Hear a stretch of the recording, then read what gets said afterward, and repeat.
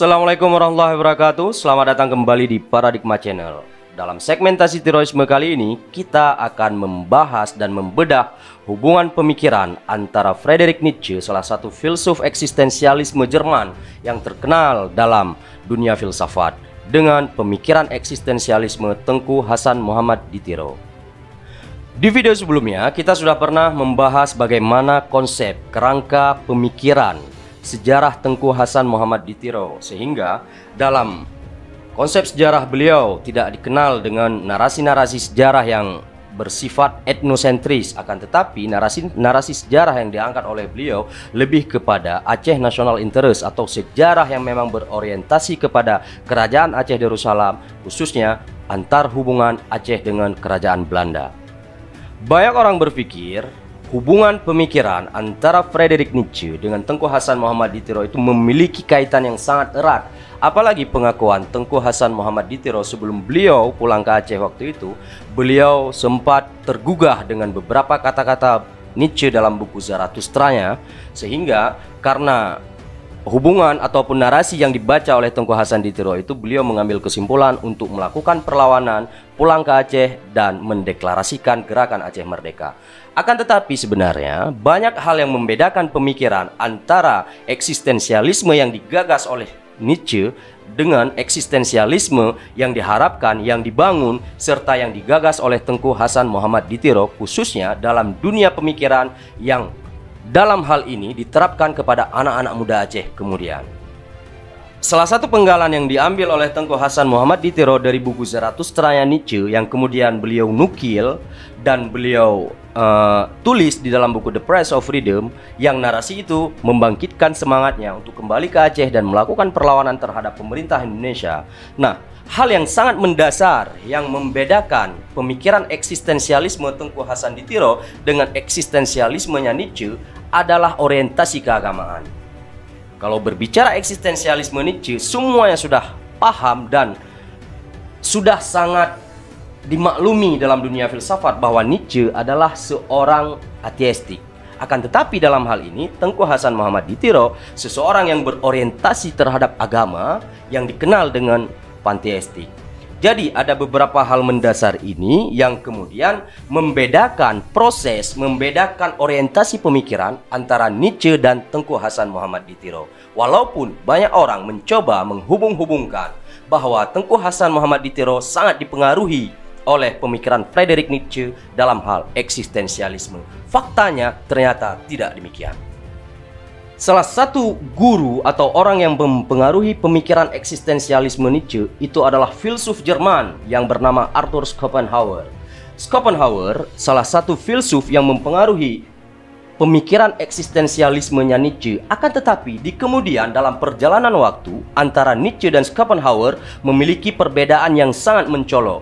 Bagi Schopenhauer bahwa hidup itu tragis kita sebagai manusia harus melarikan diri, tidak boleh terlibat dalam kehidupan yang menurutnya sangat tragis. Akan tetapi, menurut Nietzsche, hidup itu harus diiyakan sehingga dalam teks dan narasi-narasi Nietzsche dikenal dengan manusia jasagen atau manusia dinusian.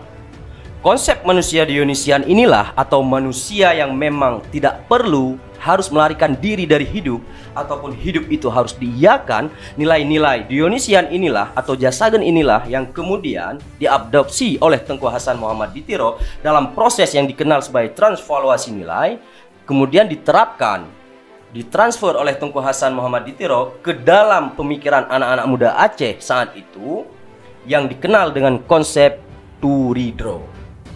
Konsep Turidro inilah yang sebenarnya konsep bagaimana melahirkan manusia secara pemikiran, secara sikap memiliki kemerdekaan di dalam dirinya. Konsep Turidro atau konsep Dro dalam istilah Tengku Hasan Muhammad Ditiro ataupun konsep Jasagen dalam istilahnya Nietzsche walaupun secara substansi memiliki persamaan-persamaan secara pemikiran bahwa manusia itu harus merdeka, hidup itu harus diiyakan, akan tetapi sebenarnya memiliki perbedaan-perbedaan antara konsep dronya Tengku Hasan Muhammad Ditiro dengan konsep jasagennya Nietzsche. Perbedaannya yang pertama adalah karena Nietzsche seorang pemikir yang bersifat aforis dan Tengku Hasan Ditiro seorang pemikir yang bersifat premis dan silogis sehingga eksistensi keduanya itu tidak bisa disatukan. Yang pertama, Hasan Ditiro adalah sosok pemikir yang tidak bisa melepaskan dirinya dari Tuhan atau ketuhanan akan tetapi Nietzsche melepaskan dirinya dari cengkraman ketuhanan sehingga kita mengenal dalam banyak narasinya bahwa Tuhan sudah mati. Dalam konsep terorisme, seorang manusia itu harus mem bisa memberikan penghargaan terhadap dirinya, terhadap jiwanya. Makanya dalam Islam sendiri juga dikenal bahwa Seseorang tidak boleh bahkan haram melakukan bunuh diri karena hak atas dirinya itu memiliki hak yang lebih tinggi yaitu hak Allah Subhanahu wa taala. Makanya di sini perbedaan antara Tengku Hasan Muhammad Ditiro dengan Nietzsche ini sangat jelas-jelas kentara. Bagi Nietzsche manusia itu sepenuhnya hak dirinya sendiri. Akan tetapi dalam pandangan eksistensialisme terorisme, manusia itu memiliki hak atas dirinya akan tetapi tidak boleh melewati hak Allah terhadap dirinya. Maka dalam Islam tidak boleh atau mengharam diharamkan untuk melakukan bunuh diri. Yang kedua, seseorang harus mengenal dirinya karena dengan mengenal dirinya itu menjadi jalan bagaimana dia mampu mengenal Tuhannya. Man arafa nafsah fakat arafa rabbah. Konsep inilah yang diadopsi oleh Tengku Hasan Muhammad Ditiro. Walaupun dalam prosesnya memakai teori-teori transvaluasi nilainya Nietzsche yang diambil dari Nietzsche yang kemudian diberikan kepada anak-anak Aceh khususnya dalam hal eksistensialisme. Maka seorang manusia dalam pandangan eksistensialisme ya Tengku Hasan Ditiro walaupun dia berpikir secara merdeka, bertindak secara merdeka akan tetapi dia tidak bisa melepaskan dirinya dari ketuhanan ataupun dari agama. Sehingga ini menjadi perbedaan antara eksistensialismenya Tengku Hasan Ditiro dengan eksistensialismenya Nietzsche. Maka dalam tiroisme, moralitas dirinya sebagai seorang manusia yang harus dihargai itu harus menjadi jalan bahwa membentuk perilaku dirinya yang dikenal oleh Nietzsche sebagai herden moral dan hirden moral, moralitas Tuhan dan moralitas manusia lamin. Dalam Genealogi kebudayaan orang Aceh yang menjelaskan tentang sistem moral dalam kehidupan masyarakat Aceh, kita mengenal frasa seperti kata luntuan saat seseorang dipanggil dalam kebudayaan orang Aceh. Dan kata-kata luntuan itu adalah manifestasi dari herden moral, bagaimana moralitas tuan dia dipanggil Walaupun dia akan berhadapan dengan orang tuanya, gurunya, dia tetap akan menjawab atau menyahuti luntuan bahwa dirinya adalah seorang tuan. Dan di sini menunjukkan orang Aceh memiliki sistem moral yang sangat kuat, tidak bisa diatur, tidak bisa diperintahkan oleh orang yang memang moralitasnya adalah moralitas lamin atau heren moral.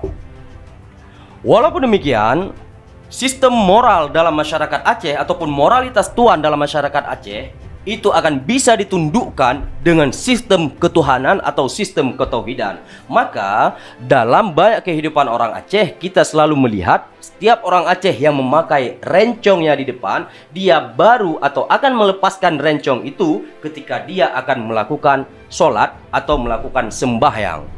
Maka ini membuktikan kepada kita bahwa orang Aceh akan tunduk atau hanya akan tunduk kepada ketauhidan dan ketuhanan.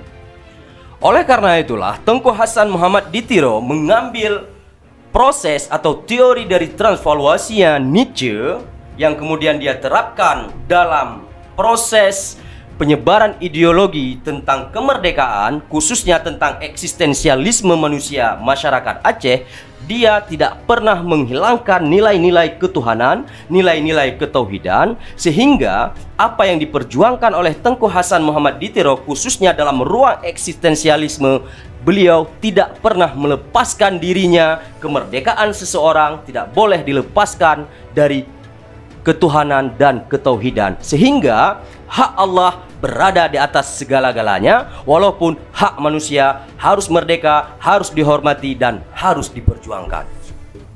Maka hal ini memberikan jawaban kepada kita bahwa hubungan konsep eksistensialismenya Nietzsche dengan eksistensialisme yang dibangun oleh Tengku Hasan Muhammad Ditiro itu jauh sekali bahkan sangat berbeda. Walaupun ada beberapa pihak mengatakan bahwa antara Nietzsche dan Tengku Hasan Muhammad Ditiro memiliki korelasi pemikiran yang sangat dekat. Tetapi ini terbantahkan karena seperti yang saya katakan tadi bahwa Tengku Hasan Ditiro tidak pernah melepaskan dirinya dari ketuhanan atau panteistik, akan tetapi Nietzsche adalah seseorang yang bersikap ateistik. Jika kawan-kawan memiliki pandangan untuk memberikan pandangan yang berbeda bahwa Nietzsche dan Tengku Hasan Muhammad Ditiro memiliki kaitan yang sangat erat dalam hal pemikiran eksistensialisme, silahkan berikan komentarnya. Jangan lupa like, share, dan subscribe video ini agar kita bisa terus berdialektika dalam narasi intelektual. Salam paradigma.